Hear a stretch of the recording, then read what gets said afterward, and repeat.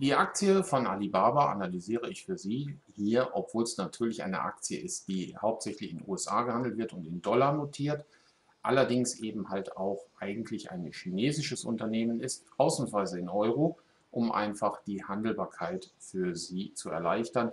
Da nehme ich dann halt auch die entsprechenden Wechselkursschwankungen stillschweigend in Kauf.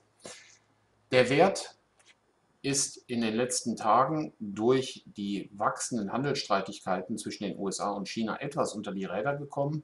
Sahen wir Mitte äh, dieses Monats noch Werte über 180 Euro, sind wir aktuell bei rund 160 Euro.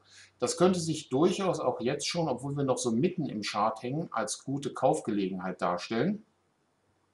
Denn das Kursziel von 266 Euro ist noch nicht ganz vom Tisch. Also roundabout eine Chance auf weitere 100 Euro bis 266 und den Stop können Sie bereits schon bei Unterschreiten der 142 Euro setzen.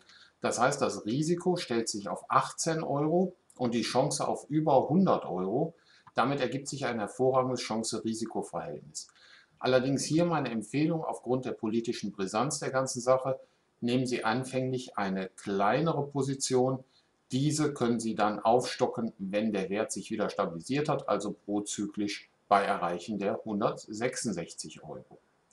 Aber vom Prinzip her rein charttechnisch unter Betrachtung des Chance-Risiko-Verhältnisses und übrigens auch ein bisschen fundamental, weil mir das Geschäftsmodell ganz, ganz hervorragend gefällt, ist diese Aktie bei 160 Euro unter zur aktuellen Notierung auch durchaus bis 165 Euro ein erster klarer Kauf aufstocken, dann vielleicht bei 166 Euro.